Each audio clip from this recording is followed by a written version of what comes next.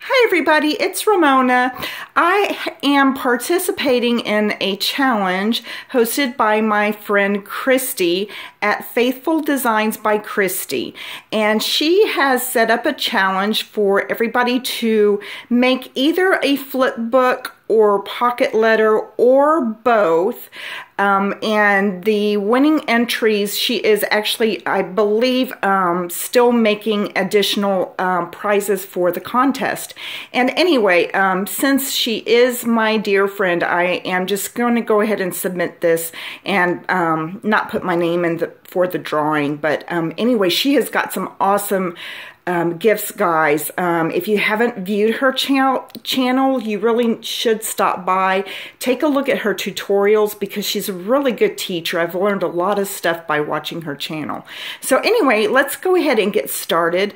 Um, I am doing this a little differently. I don't think I've ever seen this done before. I know I haven't, but um, I'm sure I'm not the first one to come up with this.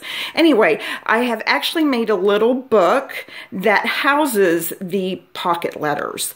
And um, the theme of my pocket letters are cherubs, as you can tell.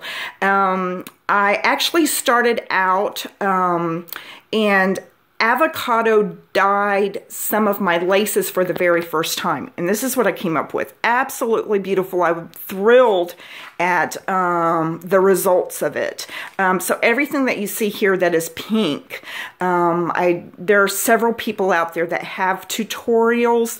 Um, Margaret is one of them. I don't remember what her channel name is, but I will look that up and link it below in the description box for you guys if you want to try that out. Very easy to do. I actually got two batches of dye out of one avocado. So very easy to do. You just boil the skins of the avocado along with the pit and all of a sudden your water turns out this raspberry color. It's really pretty.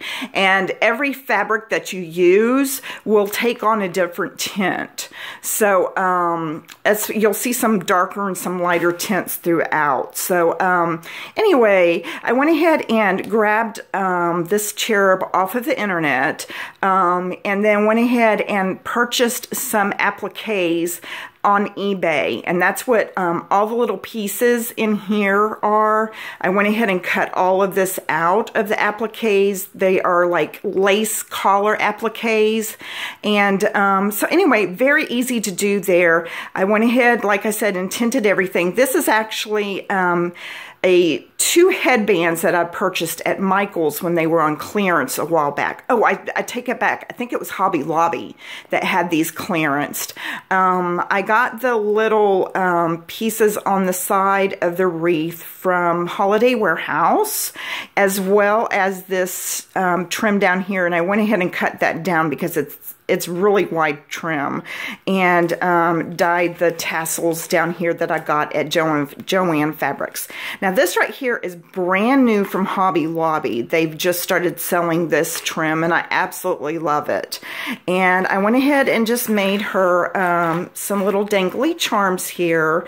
Uh, this is a little, I love this one right here. It's a little bottle. It's a heart bottle and I went ahead and filled it up with some Swarovski crystals. I can never say that word. Um, and some little pearls that go around the top of the bottle here. And just went ahead and added a lot of little heart charms and uh, a lot of wispy. I think there are two or three birds on here with some butterflies as well. So um, anyway, and attached a little tassel down here. Um, so when you open it up, this is what we have here here.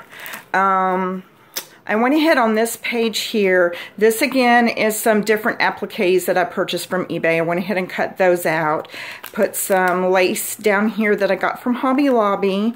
Um, I went ahead and cut out a bunch of dies for her, some frame dies and things that she can use in some projects.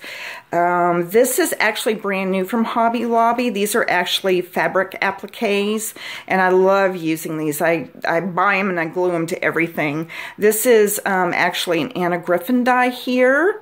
And then what I did here was I made a little pocket and I went ahead and, well, I added some lace back here um, that I avocado dyed to just keep the postcards in there as when I'm mailing it. I went ahead and backed this uh, little container up um, with um, another image that I got from um, the internet and then I actually spelt out her name and went ahead and laminated the cards for her. So um, anyway, yeah, I thought those turned, all of the little cherubs, it's kind of hard for me to do this with one hand, guys. I'm trying. it's just not cooperating. It is now, let me look, it is 7.23 in the morning. I have been up for 48 hours straight. So um, I am really lacking in the sleep department. So I may be babbling on. Um, I babble on anyway. But anyway, I really loved... Um, um, laminating these because it made the colors much richer. So anyway, I went ahead and cut some little frames out, some Spellbinder frames, and then just went ahead and put them on the little cards. I thought that turned out really cute. Okay, so on to the pocket letters. So here are, here's my pocket page. Um, that I put together. Um, all of these are Spellbinder dyed um, frames. Again, these are different than the other ones um, that you can tell that they're actually, these are a lot smaller than the ones that are on here. Um, I lucked out with this one because uh, this actually came in a button um, haul from Hobby Lobby and they had a little cherub in there if you can see that. Um, I've used a lot of 3D stickers and a lot of jewelry. Um, this right here is the uh, the little pendants that you um, buy by Blue Moon, and then they come with um, little bitty charms that you can actually put in them, like little memory uh, memory necklaces. I can't remember what they're called, but anyway, that's what this is right here this little ring and then I actually found a button that fit right in there that's um, a little rose. Um, this is brand new from Michaels. It's a little um, bobby pin. It's really cute. I know there's a glare, guys. There's actually nothing I can do about that, so I apologize. Um, and then this right here is actually off of a bracelet that I bought from Hobby Lobby, and it says love, and it was silver, and I went ahead and um, gilded that gold old. And um, anyway, I went ahead and added a lot of 3D stickers, cut out some frames. This is the Desire frames from Crafter's Companion.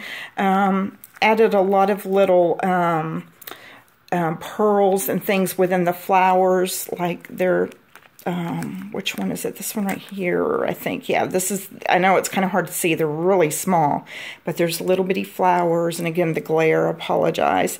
And this is what I really love. This is from Blue Moon. Again, it's from those little memory lockets. And I found these little birds and I stuck them in here.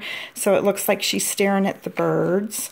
And then I went ahead and gilded this uh, bird cage up. So, um, turning turning the page with one hand again.